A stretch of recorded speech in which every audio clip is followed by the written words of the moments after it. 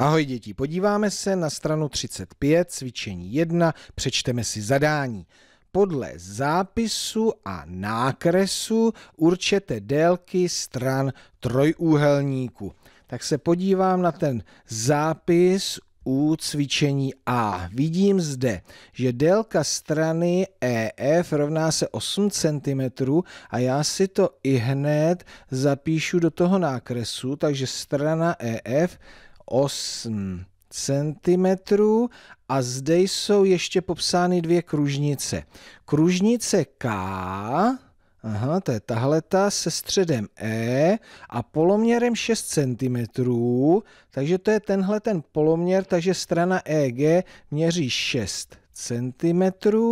No a ještě kružnice F se středem F a poloměrem, takže to je vlastně tato strana 7 cm. Tak já to přenesu tady dolů. Takže EF strana měří 8 cm, strana FG, délka strany FG rovná se 7 cm a délka strany GE rovná se 6 cm centimetrů. Tak společně se ještě podíváme na B. Takže ještě jednou, co vidím zde? Vidím zde zápis, délka strany RS rovná se 6 cm a já si to i hned přenesu do toho nákresu.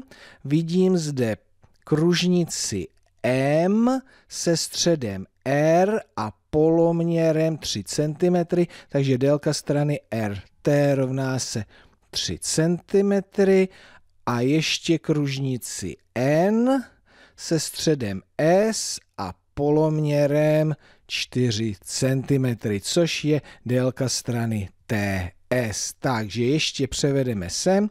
Délka strany RS rovná se 6 cm, ST 4 cm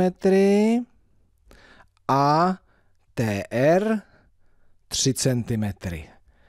Tak a cvičení nebo část C si zkuste sami. Takže si na chviličku přerušte video, zkuste vyřešit, no a potom si to zkusíme ještě společně.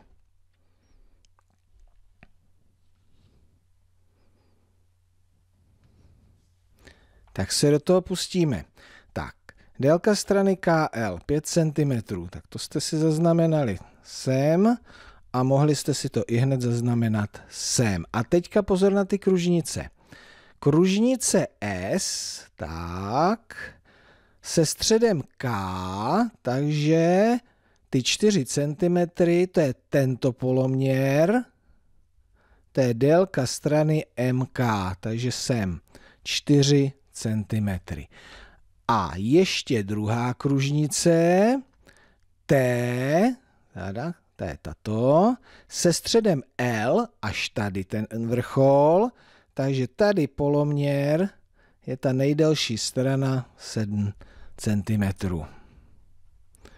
Jako vždy pro jistotu řešení podíváme se všude, souhlasí. Takže jsme si procvičili, jak vlastně z nákresu, kde je naznačena konstrukce trojuhelníků, můžeme vyčíst délky jednotlivých stran toho sestrojovaného trojuhelníku.